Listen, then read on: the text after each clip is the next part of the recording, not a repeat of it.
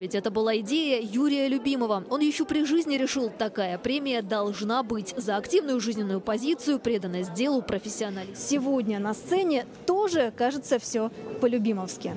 Даже оформление сцены подчеркнуто аскетично. Акцент, который ставил и сам мастер. Главное слово. Пятую премию вручаем, который носит э, имя моего мужа Юрия Петровича. Как бы не прошло лет, Юрий Любимов, кажется, навсегда останется современником. Об этом говорил и Михаил Гусман, получая награду. И вспоминал, как непросто было попасть на спектакль. Румбе, потому что румба – это танец любви. В этом танце могут передать весь свой характер. Сразу после награждения танцевально-поэтический спектакль по мотивам постановок Любимого. И в эти минуты, кажется, время можно повернуть вспять. Анна Курбатова, Александр Исаев, Татьяна Бодрова, Первый канал.